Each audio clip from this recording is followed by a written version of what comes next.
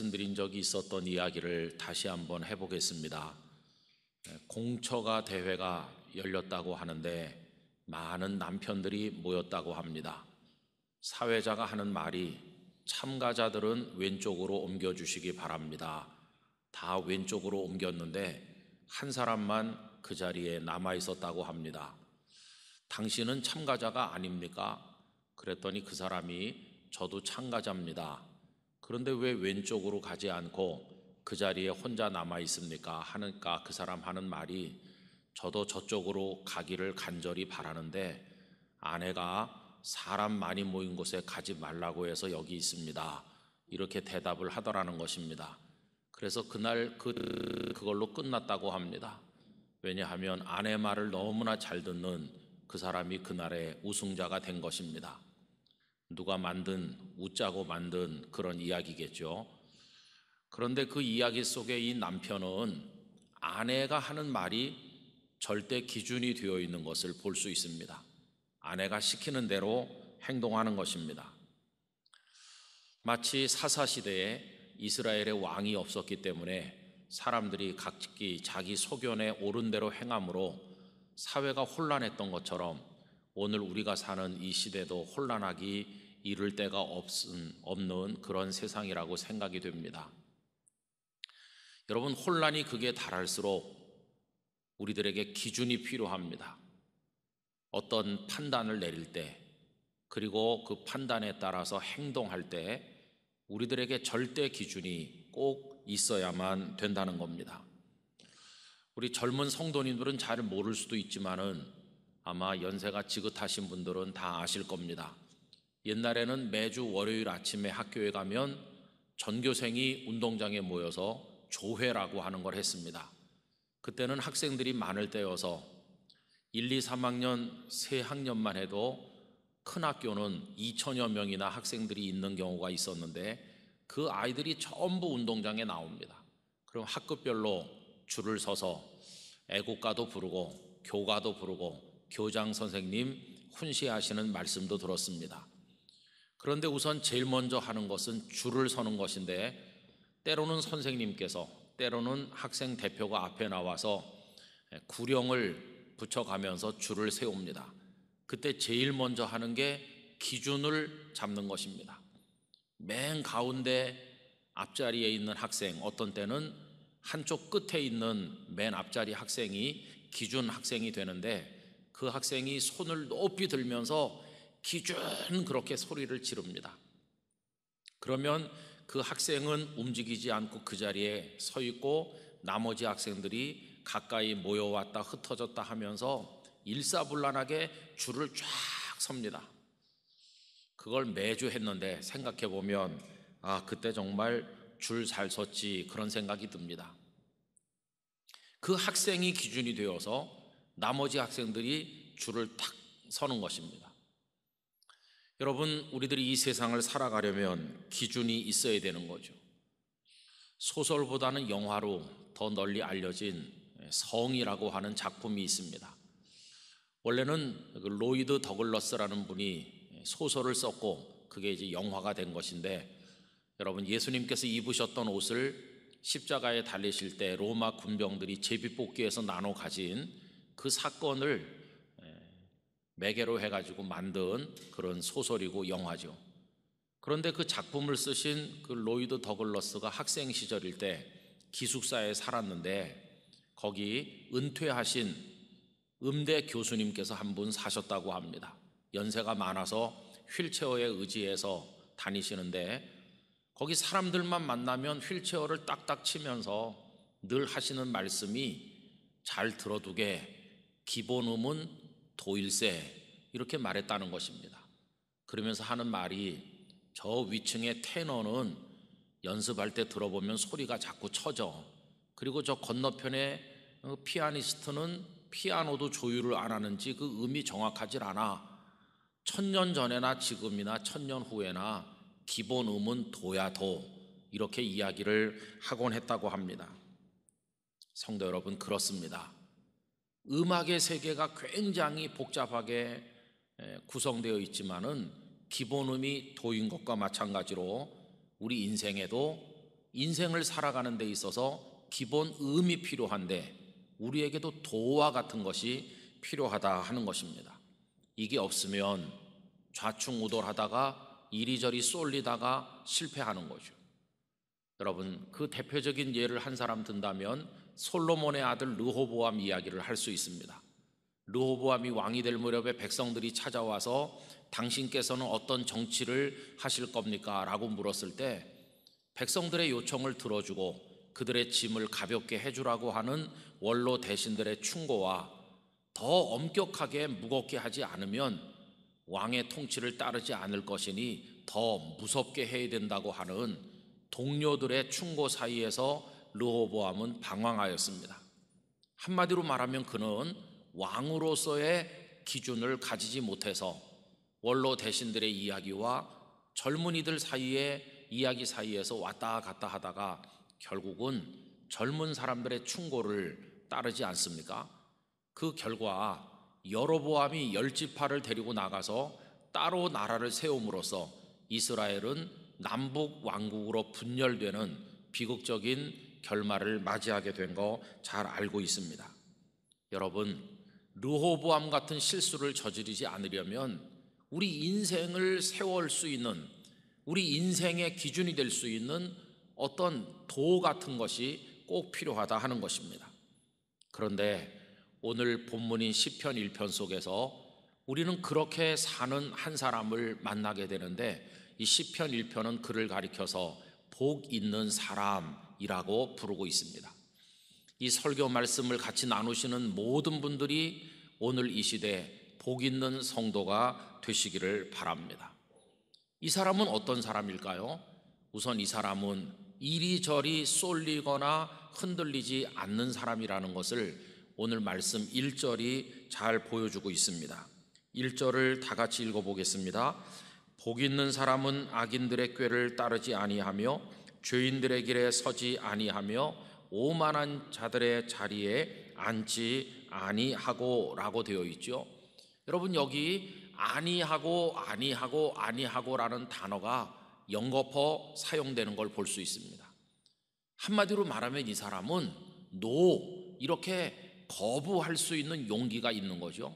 악인들의 꾀를 거부할 수 있고 그리고 죄인들의 길에 동반자가 되지 않고 오만한 자들이 차려놓은 그 풍성한 만찬석의 유혹에 넘어가지 아니하고 아니라고 말할 수 있는 용기가 그에게 있는 것입니다.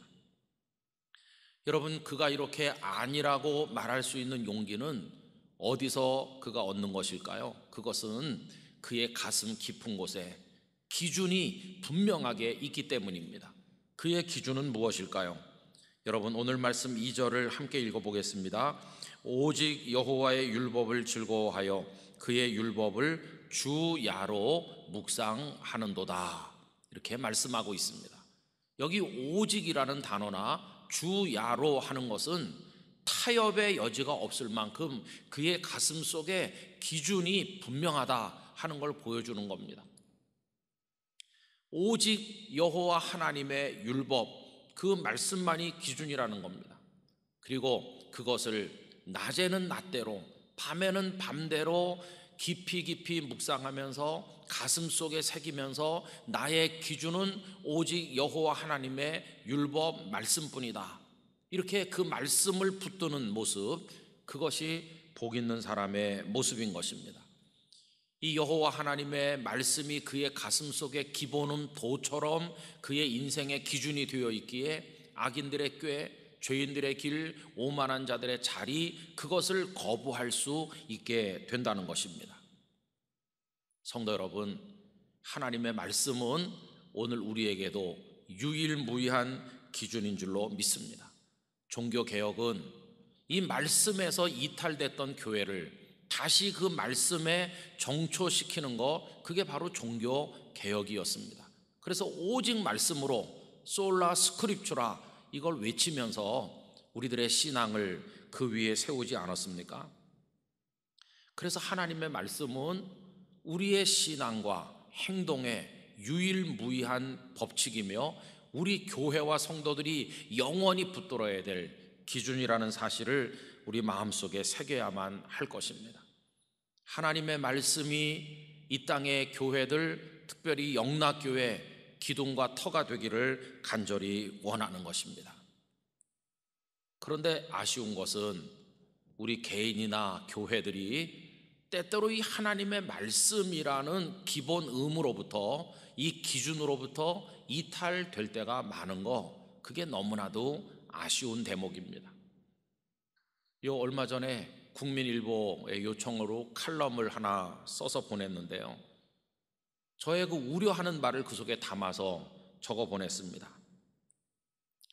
코로나19 팬데믹으로 인해서 전 세계 인류가 동일한 고통을 받고 우리도 예외가 아니죠. 지난 1월 달에 중국 우한에서 코로나라고 하는 게 발생했다는 뉴스를 들을 때 우리들은 별 관심이 없었습니다.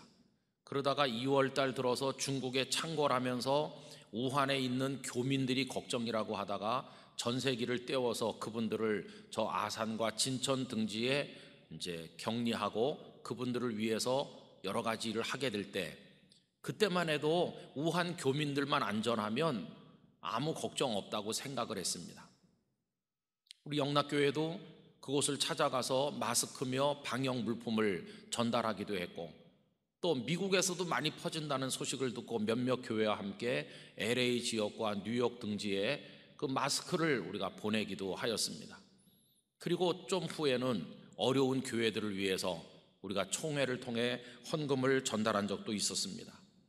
그런데 그 다음부터 이게 좀 이상한 방향으로 흐르더니 신천지에서 많이 퍼져 나오고 그러면서 사람들은 신천지와 교회를 구분하지 못하고 다 그냥 싸잡아서 비난을 하고 그리고 한두 교회에서 확진자가 나왔다는 보도가 많이 되면서 우리 교회는 이상한 집단처럼 몰리게 되었습니다. 여러분, 이렇게 될 줄 우리는 잘 알지 못했죠. 벌써 이게 여러 달 진행이 되면서 지금은 마치 교회가 혐오 집단이나 되는 것처럼 또 방역의 적폐 집단인 것처럼 비난을 받고 코너로 몰려 있는 것이 우리들의 현실 아니겠습니까? 여기다가 정치적 이해관계가 또 얽히면서 뭐 광화문 집회니 등등 하면서 얼마나 사람들이 교회를 비난하는지 여러분 아시죠? 자, 이러다 보니까 이제 교회 지도자들이 이대로 있으면 안 되겠다 하는 생각을 하게 되었습니다. 두 가지 노력을 기울였는데 하나는 방해하고 우리를 비난하는 이들을 대해서 우리가 강력하게 대응을 했습니다. 우리는 예배를 전쟁 중에도 지켰고 순교해 가면서도 예배를 지켰는데 예배당 예배를 드리지 못하는 고통만 해도 너무 큰데 이런 비난까지 받으니까 견딜 수 없다 하면서 정부 당국자를 만나고 얼마 전에는 몇 분의 목사님이 청와대에 가서 대통령까지 만나서 강력하게 이제 성토도 하고 교회 입장을 전달했다고 들었습니다. 또 그런 노력만 있는 것이 아니라 우리가 세상의 비난을 좀 방향을 돌리고 우리 교회가 그렇게 나쁜 집단이 아니라는 걸 적극적으로 알리자 우리가 세상에 등불이 되고 좀 봉사를 하자 이런 차원에서 노력도 많이 하기도 했습니다. 우리 자체 방역을 열심히 하는 것은 말할 것도 없고 정부의 지침을 잘 따랐습니다. 뿐만 아니라 방역 물품을 곳곳에 나누기도 하고 어떤 교회는 선물 꾸러미를 만들어서 생필품을 꾸러미를 만들어서 어려운 이웃들에게 전달하기도 하고 어떤 교회는 임대를 하고 있는 성도들에게 착한 임대인이 되도록 그래서 좀 그 전월세 그거를 좀 내리도록 그렇게 운동을 한 교회도 있다고 들었습니다. 어떤 교회는 지역에 있는 시장과 연계해서 상인들의 씨름을 덜어드리기 위해서 그래서 성도들이 그 물건을 사는 날을 정해가지고 시장에 가서 많은 물건을 사기도 했다 하는 얘기를 들었고 어떤 교회는 수양관 같은 시설을 격리시설 내지는 치료시설로 제공했다는 이야기도 들었습니다. 여러분 다 소중하고 의미가 있고 가치 있는 봉사였다고 생각이 듭니다. 그런데 보세요. 이렇게 해 나가는 과정에 문제가 있는데 그게 뭐냐 하면 교회들이 소위 공공성 논쟁에 휘말리게 되었다는 것입니다. 여러분 정부가 어떤 정책을 추진할 때 공공의 목적이라고 하는 걸 중요한 가치로 생각하는 거 그 당연합니다. 공익을 위해서 공공의 목적을 위해서 어떤 정책을 수립하는 거죠. 우리 그거 다 이해할 수 있습니다. 그래서 예를 들면 최근에 부동산 정책이라든지 또 의료인들이 많이 문제가 됐던 의료 정책 등등이 다 공공의 목적으로 위해서 추진하는 과정 속에 갈등도 생기고 뭐 그런 거 아니겠습니까? 여러분 교회가 세상을 섬기고 봉사하는 거 그 당연한 겁니다. 교회가 세상을 봉사하고 섬겨야죠. 그런데 문제는 공공성 논리 때문에 봉사하거나 섬기는 거 그거는 옳지 않다 하는 것입니다. 여러분 교회가 세상에 봉사하고 섬기되 어떤 공공성 논쟁에 떠밀려 가지고 하는 거 그거는 교회가 이 세상에 있는 여러 부문과 똑같은 그 중에 하나로 전락하고 우리의 정체성을 상실하는 문제를 가져오게 된다는 것입니다. 공공성이라고 하는 게 아주 소중한 가치이기는 하지만 그게 절대 선이 되면 이 세상에는 많은 비극들이 발생하게 돼 있습니다. 예를 들면 공공의 목적을 위해서 개인의 권리를 박탈하고 개인의 자유를 짓밟고 예배의 자유를 빼앗고 신앙의 자유를 박탈한다면 그러면서 이건 공공의 목적으로 위한 거다. 얼마나 왜곡되는 것입니까? 심지어 전체주의적인 독재 국가에서는 공공의 목적으로 위해서 아무개를 죽여라. 이런 사륙이 자행된 적도 얼마나 많습니까? 여러분 공공의 목적이라고 하는 게 악용되면 여론 재판으로 흐르는 거고 우리는 근대사 속에서 정말 피비린내 나는 아픈 역사를 가지고 있습니다. 북한 공산 집단이 전쟁을 일으키고 이 땅에 내려왔을 때 사람들 모아놓고 인민 재판을 해서 얼마나 많은 사람들을 죽였습니까? 그게 다 공공의 목적으로 죽이는 겁니다. 그 공공성은 선한 가치임에도 불구하고 그게 극단화되든지 그게 악용되면 그 속에 얼마나 악한 비극적인 요소가 나타나는가 이걸 우리가 결코 가볍게 생각해서는 안 된다는 것입니다. 그럼 여러분, 교회가 세상에 봉사하고 어려운 사람들을 돕고 이렇게 수고하는 것 당연한데 우리는 왜 하는 것입니까? 공공성 논리 때문에 하는 것인가요? 아닙니다. 우리가 그 일을 하는 것은 우리는 하나님의 말씀 때문에 하는 겁니다.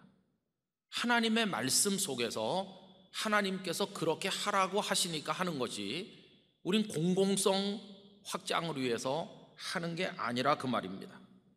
여러분, 교회가 똑같은 일을 하더라도 어떤 공공성 때문에 하는 것이 아니라 우리는 하나님의 말씀이 그러하기 때문에 해야만 된다는 것입니다. 교회가 왜 교회인가? 하나님의 말씀에 기초하고 그걸 기준으로 삼고 그걸 따르기 때문에 교회인 것입니다. 그래서 똑같은 일을 하더라도 우리의 대답은 하나님의 말씀이 그러하기 때문에 우리는 한다. 이렇게 이야기해야 교회의 정체성을 지켜나가게 된다는 것입니다.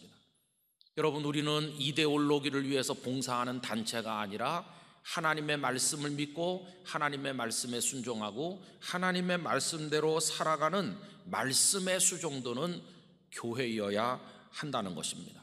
오직 말씀만이 하나님의 교회 기준이요. 그 말씀이 우리의 기본 의미라고 하는 사실을 우리 성도님들께서 기억하시기를 부탁을 드립니다. 아프리카의 성자라고 하는 슈바이처 박사께서 물과 원시림 사이 그 람바레네에 들어가셔서 평생을 바쳤습니다. 수고를 많이 하셨죠. 사람들이 물어봅니다. 왜 슈바이처 박사는 아프리카로 들어갔는가? 많은 사람들이 말하기를 박애주의자기 때문에 갔다. 박애주의라는 이데올로기 때문에 이념 때문에 갔다 이렇게 설명하죠. 그러나 그렇지 않습니다. 그분은 목사요. 한 사람의 그리스도인으로 성경을 읽고 하나님의 말씀에 도전을 받고 나름대로의 말씀에 대한 신앙 고백적 응답을 위해서 그곳으로 간 것이고 그래서 말씀에 수종드는 인생을 산 것인데 그 결과로 열매가 박애주의라는 열매가 열린 것이지 박애주의 때문에 간 게 아닙니다. 무엇이 먼저고 무엇이 나중인지 무엇이 그 목적이고 무엇이 그 수단인지 이걸 혼돈하면 안 되는 것이죠. 말씀 때문에 가서 말씀에 순종했는데 그로 인해서 박애주의라는 열매가 맺혀지게 된 것입니다.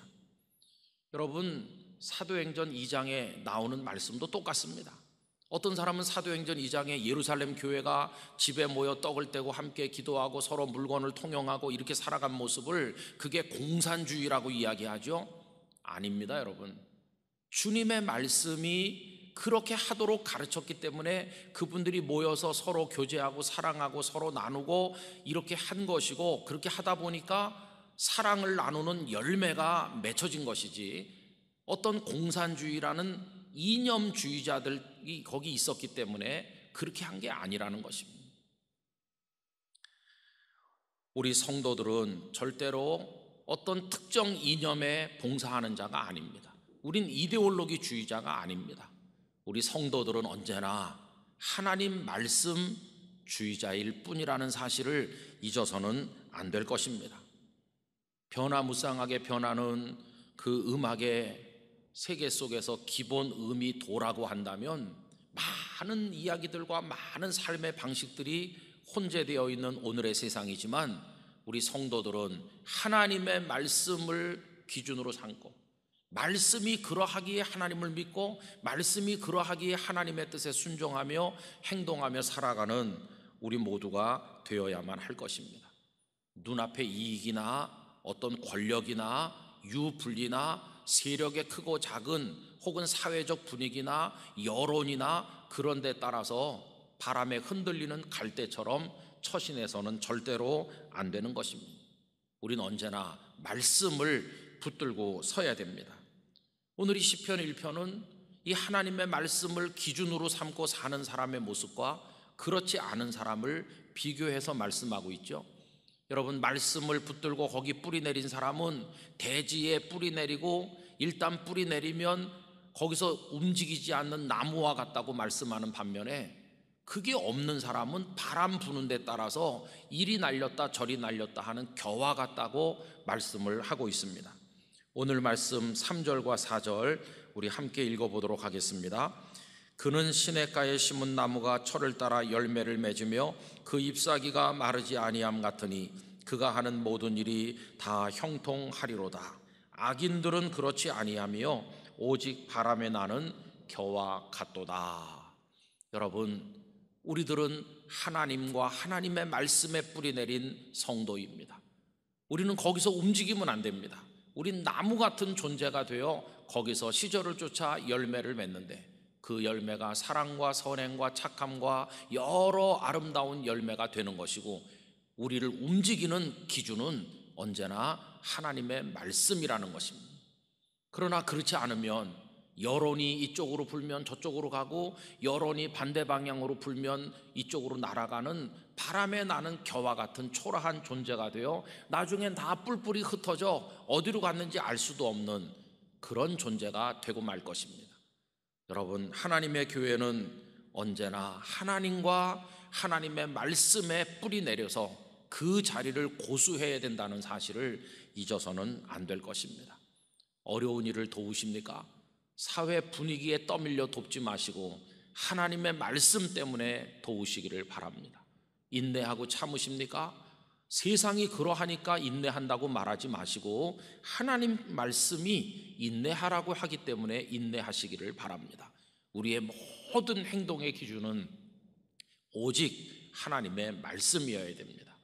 저는 소원하기를 예수님 이 땅에 재림하시는 그날까지 영락교회 성도들과 우리 영락교회는 이 말씀의 기둥과 터가 되어서 절대로 움직이지 않고 하나님의 말씀을 지켜나가는 거룩한 사명을 완수하게 되기를 간절히 바랍니다.